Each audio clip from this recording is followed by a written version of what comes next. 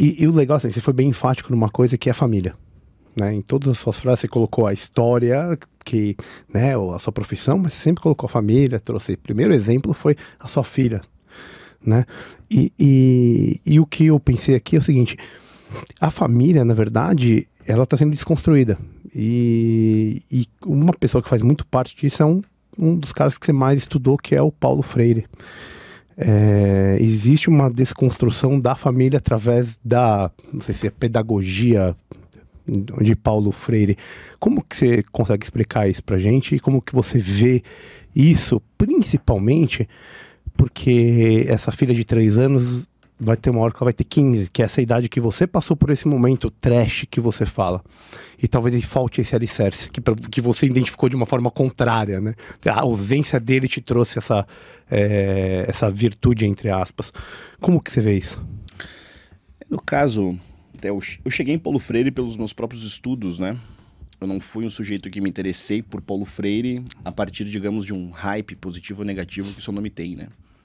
Eu me interessei estudar Paulo Freire porque, como eu fiz referência, desde jovem, 10 anos, eu já queria estudar história brasileira e gradativamente eu continuei estudando a história do Brasil quando entrei na universidade, eu continuei interessado principalmente em história do Brasil. Então, dependendo do caso, exemplo, história dos fenícios. Eu não me dedicava da mesma forma que eu me dedicava, por exemplo, história da monarquia 1.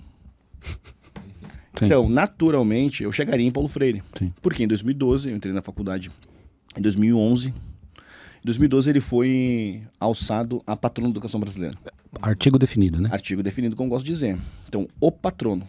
Uhum. Ou seja, ele é de fato uma figura singular, Sim. especial. Foi tratado assim. Então, eu quero lê-lo. No curso de História, assim como de outras humanidades, existem nas disciplinas de licenciatura aquele compartilhamento. Então, você acaba fazendo cadeiras de pedagogia. E Paulo Freire, nessas cadeiras, nessas disciplinas, apareceu. Então, ali foram os meus primeiros contatos com seus textos. O que é um problema acadêmico no, no Brasil, assim, por que não endêmico, que é o fato de que muitas vezes estudam apenas os, assim, extratos dos autores.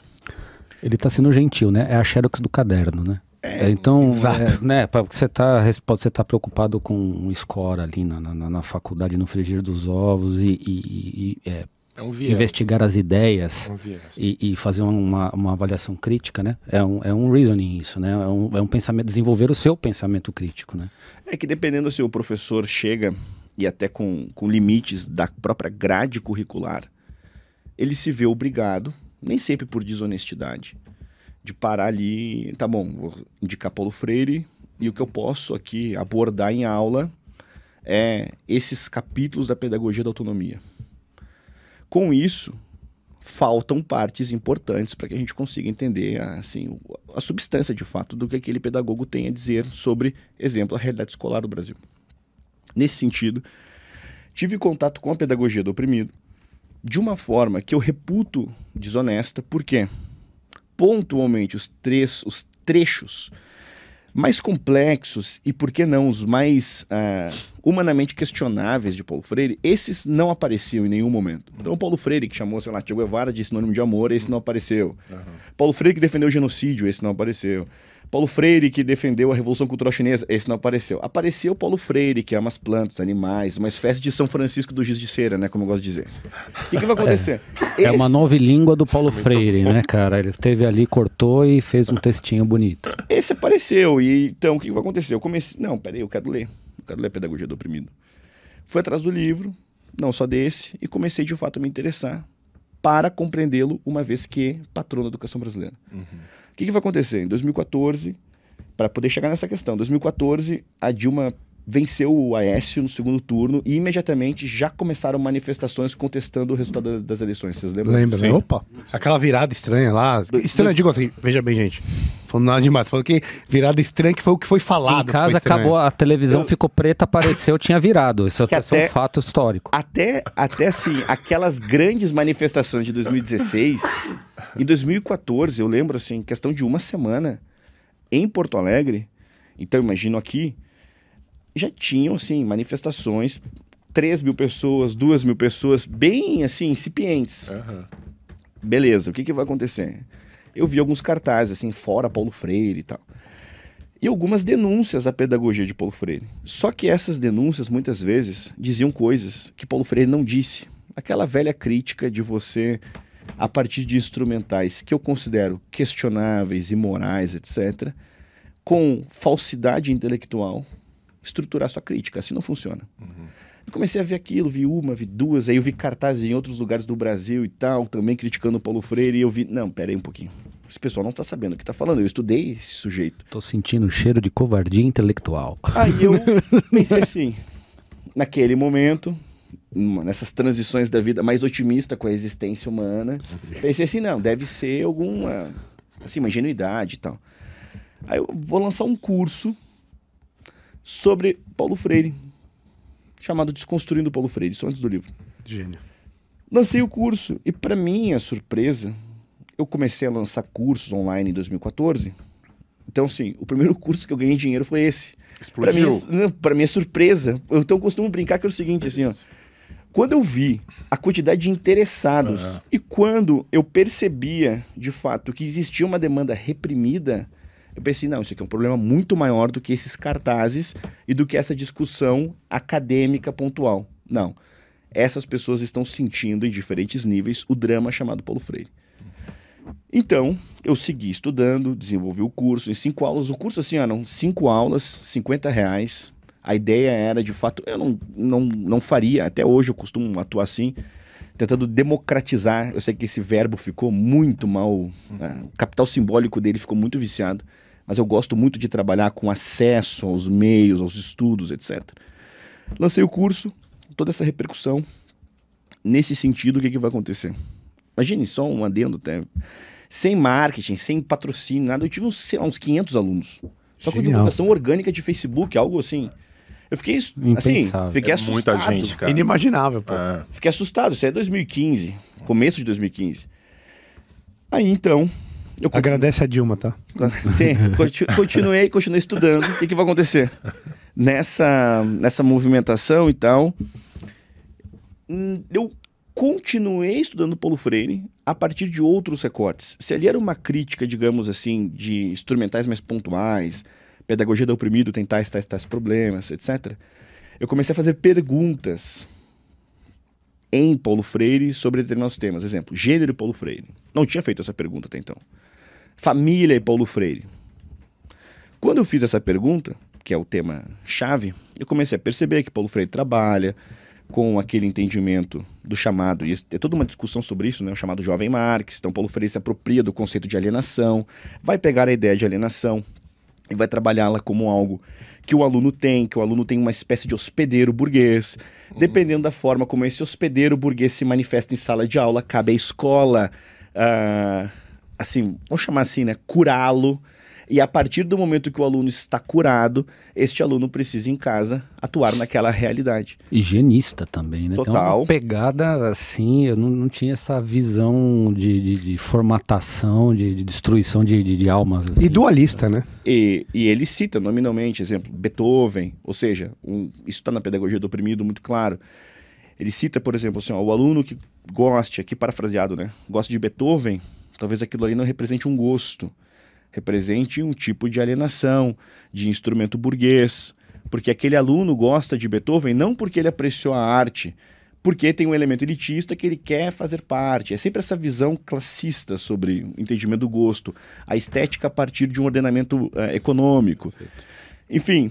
Você nesse... coloca o sujeito numa condição larvária. É a aniquilação do indivíduo. Né? A vitimização completa, sistêmica, especialmente porque ele não sabe disso. E justifica porque o brasileiro quer primeiro ficar rico para depois adquirir cultura, né? Porque, né, isso é, passa a ser uma coisa é que é acessória, né? Não, é, cara, é... E tem uma visão, ele tem essa visão que é da parte dele, né? Uma visão, assim, claramente elitista. Porque ele pode ajuizar sobre o gosto cultural de todos os alunos. Dois, o aluno é um escravo da própria circunstância. O sentido da arte, eu gosto muito desse exemplo. Aqui em São Paulo estou no metrô, metrô transbordando de pessoas, e ali estou sentado conversando com o Machado de Assis. A beleza da arte é essa. Uhum. A beleza da arte é poder ali entrar no Transcender uma condição Exato. A arte tem esse elemento. Empírica. Isso. A arte tem esse elemento de, de, assim, de educação do espírito, uhum. de forja do imaginário, de deslocamento do corpo. Aqueles mais religiosos, deslocamento, aperfeiçoamento, refino da alma. Sim. Enfim, o que, que, vai acontecer com isso? Tem um tipo de aleijamento na maneira como o amputação, aluno... Amputação. Né? E eu comecei a perceber isso eu comecei a ler. Aí vem Pedagogia da Autonomia, que eu já tinha estudado, só eu comecei a ler por outras chaves, por, por outros questionamentos.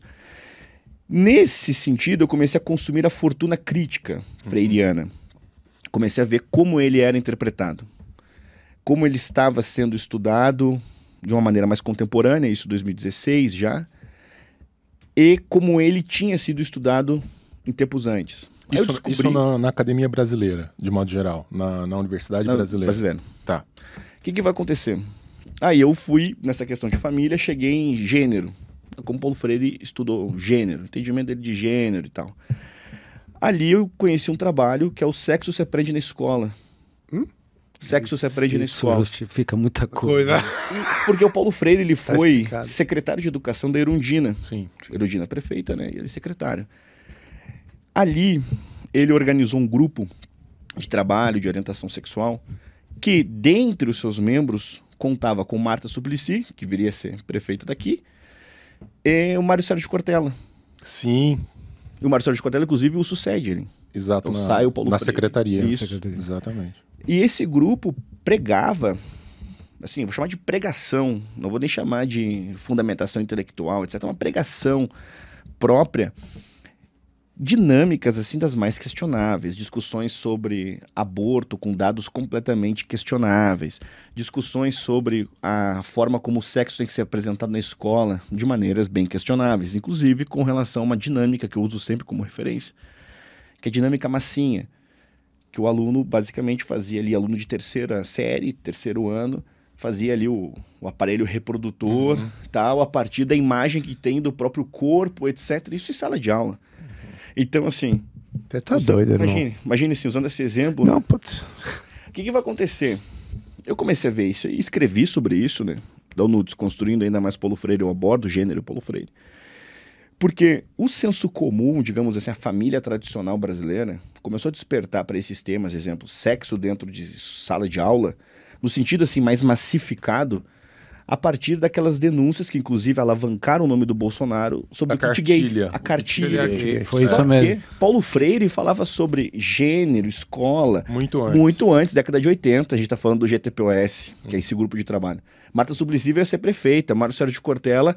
A, assim, o nível de alienação intelectual é tal que o mesmo sujeito denuncia, nossa, doutrinação sexual em sala no grupo da família compartilha um vídeo bonitinho do Mário Sérgio Cortella sem saber de fato que tem uma conexão dentro dessa conjuntura. Você está dizendo que isso é deliberado e tem método no, no, no, nessa, nessa estruturação? Porque eh, eu vou fazer aqui um.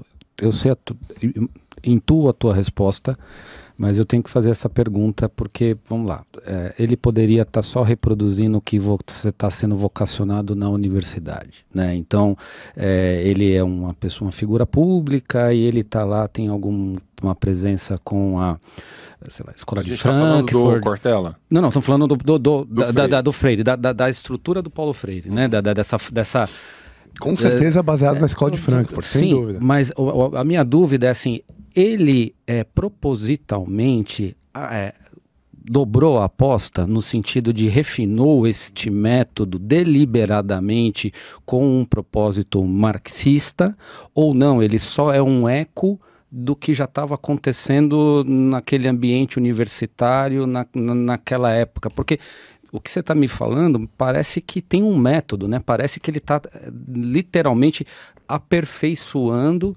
esta forma de controle, de alienação e que parece muito programático a forma, porque é muito preciso como ele ele está ele tá atuando, né? O que, que você pensa disso, cara? O Paulo Freire tem uma, eu até falei isso no documentário que eu ajudei a montar, que foi o Pátria Educadora, tá, produzido pela Brasil Paralelo. Genial. Genial. E aí tem um episódio só sobre o Paulo Freire, né? Eu falo isso ali. Paulo Freire tem uma jornada de vida que começa muito meritória nasceu pobre, uma série de circunstâncias de ordem familiar, luto. se desenvolveu, batalhou para se autoalfabetizar, conseguiu se formar, entrou na faculdade, tem uma história de, vamos assim, de forja uhum. muito boa, bonita, até inspira. O que, que vai acontecer? Nessa conjuntura, ele que é formado em direito, se encaminhou para a alfabetização. Na alfabetização, ele partiu de dados da própria realidade. Exemplo, o Brasil um país que sim, principalmente naquela conjuntura ali, década de 50, tem níveis de alfabetização, de analfabetização altíssimos. Ainda níveis, agrário. É, é, ainda majoritariamente agrário, com uma transição demográfica ainda complexa. O Brasil estava começando a deixar de ser interiorano. Enfim, São Paulo, Rio de Janeiro, vivendo um outro tipo de remodelação. Nós estamos falando de um período que Brasília já era especulada, um período que viveu a Era Vargas, um período que o Estado se via como protagonista, inclusive para educar a partir da ideologia, porque o MEC nasceu ideológico, o MEC nasceu para doutrinar, o MEC nasceu como um aparelho de Estado totalitário. Paulo Freire enxergou esses dados a partir do momento que ele enxergou essas questões, e não só, ele continuou lendo, etc. Em um determinado momento, vamos chamar assim, virou uma chave e ele se viu imbuído de uma missão dentro dessa, digamos assim, realidade brasileira, como eu posso atuar diante disso. E ele desenvolveu um tipo de alfabetização de adultos. Essa alfabetização de adultos foi reconhecida por agentes da alta política brasileira, como João Goulart, uh, Castelo Branco, que viria a ser uh, presidente no início da ditadura. Enfim, foi reconhecida enquanto aplicação pedagógica. Porque o Paulo Freire, quando ele começou a trabalhar com alfabetização, ele conseguiu emprego em aparelhos de Estado, em empresas estatais, etc. Ou seja, ele continuou, ele começou a se envolver cada vez mais com a burocracia, burocracia, burocracia. Nisso, alfabetização de adultos. Rio Grande do Norte, experiência de angicos. O que, que seria alfabetização de adultos? Então, por exemplo, aqui, ó, microfone. Coloco no quadro microfone, começo a tirar uma sílaba, uma letra. Aí o aluno conseguiu detectar ali, o aluno adulto, ah, aqui está o microfone. Aprendi a ler a palavra, a reconhecer a palavra microfone. Porque Paulo Freire ele começou a desenvolver esse método a partir do filho, que via certas imagens, se eu não me engano, do Todd ou do Nescau, enfim, via algumas imagens e aí o filho falava, olha o Todd, o filho pequenininho, dois, três anos, se eu não me engano. E aí, então, Paulo Freire viu, não, peraí, eu posso ensinar dessa forma. Então, os alunos adultos viam. A partir do momento que o aluno entendia que o que está no quadro é a palavra microfone, Paulo Freire vinha com a ideia da compreensão transformadora, que aí entra o princípio, digamos assim, revolucionário, né? Desconstruir ah, o símbolo. Peraí, microfone. Quem é o seu chefe? Então, um exemplo aqui, digamos assim. E aí o capeta entrou. Aí, assim, aí entre, aí assim, ó, vocês têm aqui, vocês estão aqui, aí, ó, peraí, quem é o chefe? Tá, mas por quê? Por que você ganha isso? E aí começou esse questionamento, a partir de palavras como rede, vara de pescar, sei lá. E aí, não, peraí, você vendeu sua sardinha por R$ 9,90 o quilo, mas no mercado, essa sardinha está sendo vendida por R$ 29,90. O que aconteceu nesse meio do caminho? E aí, incutindo a chamada leitura de mundo. Na leitura de mundo, tem essa questão de, na segundo Paulo Freire, de compreensão dessa, digamos assim, uh, propriedade diante da tua condição enquanto ser. Nesse processo, o que, que vai acontecer? Paulo Freire, com a experiência de Angicos, foi respaldado ele fez amizades, Darcy Ribeiro, etc. Nesse conjunto vem o golpe militar. Com o golpe militar, Paulo Freire ele já é de início, uh, já entra no processo de censura, já vai ter que se exilar. É ele que transita Bolívia e tal, para na Europa. Na Europa, ele é absorvido por Conselho Mundial de Igrejas, Unesco. Paulo Freire não foi um intelectual, exemplo, Aqui eu li um livro do Denis, eu moro no Canadá. Sou um canadense, li, gostei desse autor brasileiro. Falo com meus amigos que têm editoras e falo, vamos traduzir esse cara. Uhum. É um fluxo orgânico. Uhum. Paulo Freire, não, tem o Conselho de Igrejas que já te traduziu e está te distribuindo já em inglês, japonês, enfim. Que ano que era isso aí? Tipo, década de 60. 60 é por isso que, é por isso que, é por isso que foi, que espalhou, né? Espalhou. E não, por isso essa máquina de propaganda, o, o autor traduzido em É porque o, que, o, que, um milhão de o países. reconhecimento não é de baixo. Não, Bizarro. não é aí que o tá. O reconhecimento não é de baixo, é isso que e, é, e é ainda, down, né? E o é. Nelson Rodrigues tem uma frase genial, uma, né? Tem várias, né? Mas assim, tem uma que ele diz, né? Que o brasileiro buscaria o prêmio Nobel a nado, né?